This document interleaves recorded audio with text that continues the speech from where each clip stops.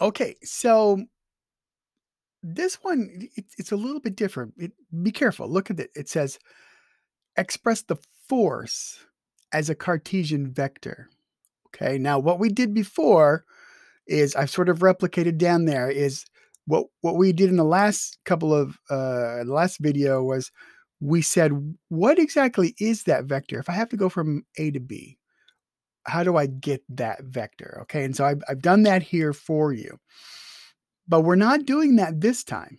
Instead imagine that we have a rope and the rope is tied off in two places.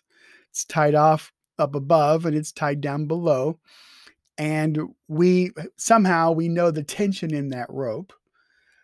But then we need a vector to describe that tension as a force so how do we do that all right well we know the endpoints and we know the tension that's what we've got here all right we know the endpoints and we know the tension so the tension in that rope is 630 newtons and so my vector r if we look at that thing there, it, you know, if we find the magnitude on that, okay, um, let's go ahead. Let's just take a look at that super quick. I'm going to have 4 plus 9 plus whoop, 36. Let me just double, triple check that. Um, I think that's right. Yeah, that's right there. Okay. And so that turns out to be 7. So that's a magnitude of 7. We need a vector with the magnitude of 630. Okay, so how are we going to get come up with that? Well, what we're going to do is we're going to remember that a vector is a magnitude and a direction. So what we'll do is we'll say here that we need an f that has the magnitude of f but is in the same direction as our vector r. So we'll use the little u there, stands for unit vector. It has a magnitude of 1. So then if we can get that unit vector, then we we know that what we're going all we have to do is have to go 630 and we're going to put it in the direction of our unit vector. We just got to get that unit vector. Okay. Well, that's super easy to do because a unit vector, uh, all we have to do is take the vector itself, the vector of interest, and divide it by its own magnitude. Okay, and we we we've got we've got that. We've got both of those already. So we're looking here then at 2, 3, negative 6, all divided by 7. So my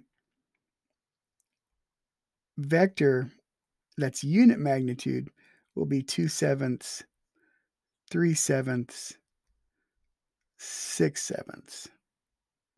Just like that. So there's my unit vector. All I got to do now is stick that up there with this guy um, and see what happens. All right, so F then, we're going to have 630 onto 2, 2 sevenths, 3 sevenths, and minus 6 sevenths. Okay. And then um, just like just like in algebra, we can pass the 630 inside to it there. It's just it's just uh, uh, that magnitude is a magnitude is a scalar. So we just scale all the components up. And so um,